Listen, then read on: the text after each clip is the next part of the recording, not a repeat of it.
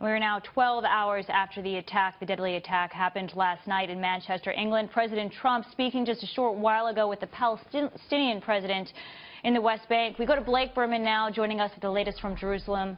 Hey there, Blake. Hi there, and good afternoon from Jerusalem. It is approaching the 1 o'clock hour here in Israel, and President Trump has been up for several hours already working. He made his way into Bethlehem to meet with the Palestinian leader just a little while ago, in which he made these remarks as it relates to the Manchester attack. Very short remarks, but in doing so, the president coined a new term, as he puts it, for how to describe the terrorists. I won't call them monsters because they would like that term. They would think that's a great name. I will call them from now on losers because that's what they are. They're losers.